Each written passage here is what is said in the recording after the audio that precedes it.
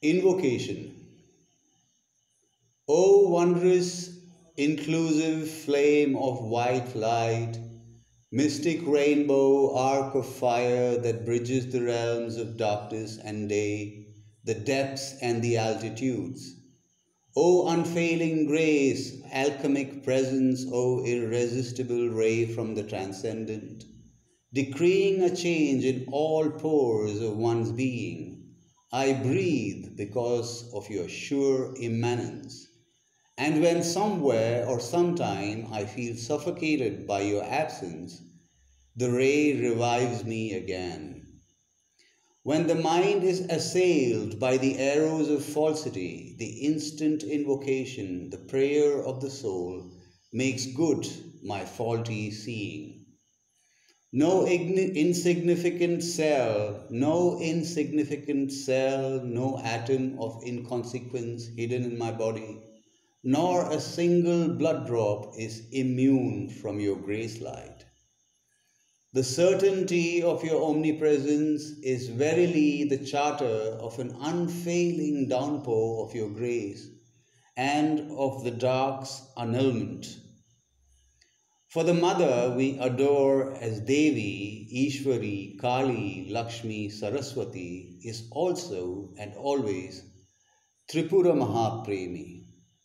For the mother we adore as Devi, Ishwari, Kali, Lakshmi, Saraswati is also Tripura Mahapremi. Wisdom, power, harmony, perfection are but the efflorescence of the infinitudes of a matchless, mighty, immaculate love. This first and last and residual secret of the mother's native stance, this Mahapremi personality, is alone what rules the world. The feet, the feel, the feel of our ego's severance from the divine lingers no more. The feel of our ego's severance from the divine lingers no more. And the sole reality is the love that sustains the universe. And the sole reality is the love that sustains the universe. Obeisance to the Mother, Adya Shakti, obeisance, Mother of Truth. Obeisance, Mother of Love, abounding obeisance, Mother of Bliss. Om Ya Devi Sarvabhuteshu Matrurupena Samstita Namastasyai Namastasyai Namastasyai Namo Namah.